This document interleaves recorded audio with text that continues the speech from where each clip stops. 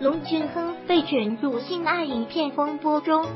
取材自微博。经胜利与群组好友共享私密性爱影片后，郑俊英被韩媒接力起底，指他也非法拍摄并散布性爱影片，而且自己就是影片男主角。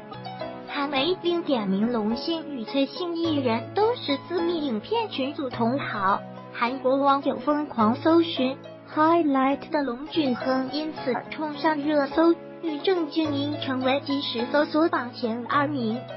但据每日经济向龙俊亨求证结果，在网络上流传的龙姓歌手并非龙俊亨，他对此谣传感到荒谬，否认拍摄和观看非法影片，只承认确实有单独与郑俊英私讯对话，暗示讯息遭移花接木。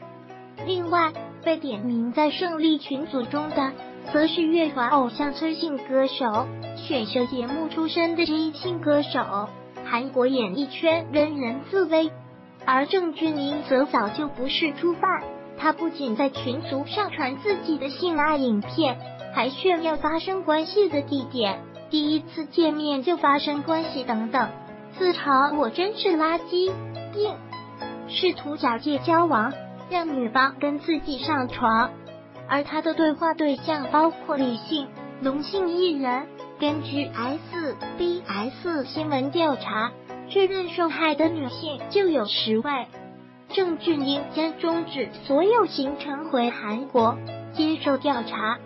取材自微博，对此，经纪公司发出挂发声明，称了解本公司的歌手郑俊英事件有多严重，对此感到十分遗憾。现在也和正在跑国外行程的郑俊英取得联系，但要确认事实的真相有一定的困难，真的很抱歉。但郑俊英已确定中断所有行程，马上回国，会诚实接受调查。